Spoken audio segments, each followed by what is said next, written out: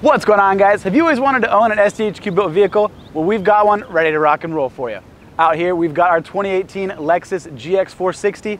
Now, we bought this vehicle bone stock a couple years ago with the idea to use it for R&D for our suite of products.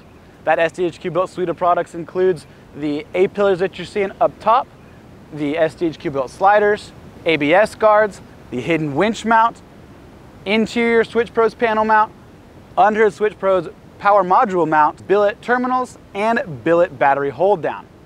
After we were done coming up with our suite, we decided we wanted to build this vehicle up and make it a nice, capable camping vehicle that is also going to maintain all of its on-road drivability.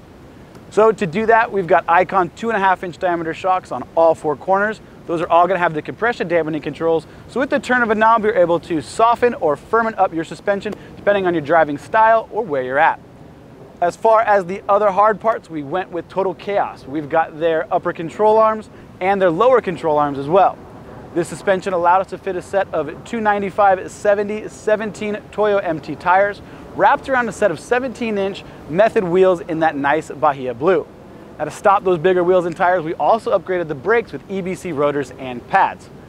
On the flip side, to get those bigger wheels and tires going just that little bit easier, under the hood, you're gonna find a Harrop supercharger and an S&B intake.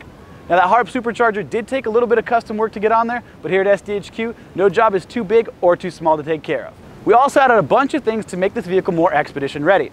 Starting with under the vehicle, we've got a whole slew of RCI skid plates to keep everything under there nice and safe. Up top, you're gonna find a Prinsu roof rack so you can store things up there.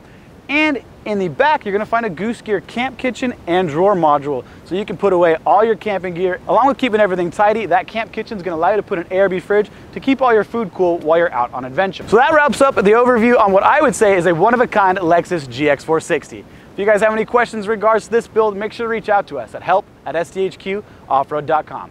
Like always, appreciate you watching, and we'll see you in the next one.